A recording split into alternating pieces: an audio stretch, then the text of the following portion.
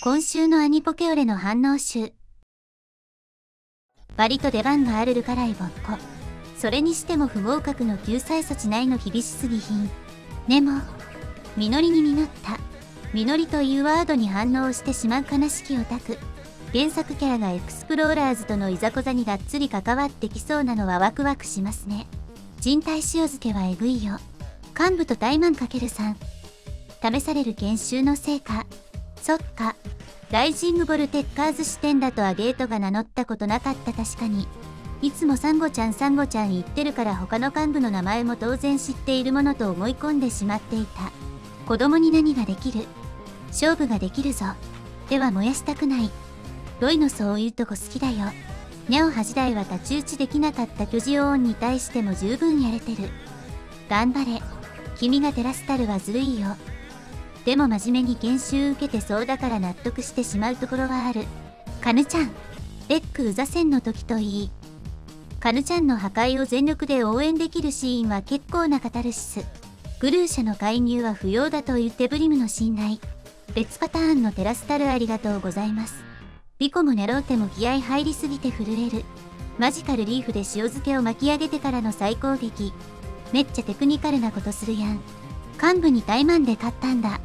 グルー車線もアメジオ線も以前と比べると明確に実力が増していることは見て取れただけに、ようやく結果がついてきて一安心。守るための戦いで本領を発揮するというのは株さんの時からの課題を引き継ぎつつその中でも成長が見える解釈で素敵だ。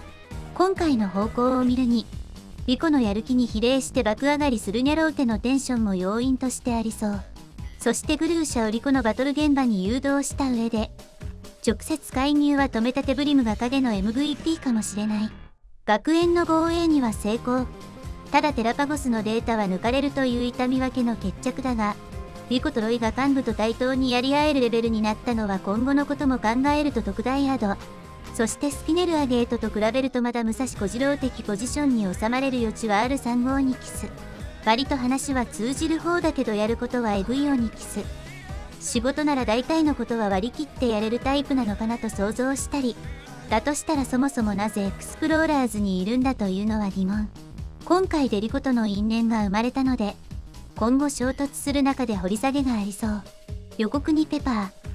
ただアカデミー編は終わるしキャスト発表もないしでファンサービスのチラ見せで終わる気はする。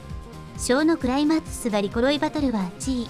めちゃくちゃ作画に気合が入ることでおなじみのクライマックスなので、ケブリム大会でも含めたガチバトルをたっぷりの尺で見られるのはここまで追ってきた人間にとって幸せな時間になりそう。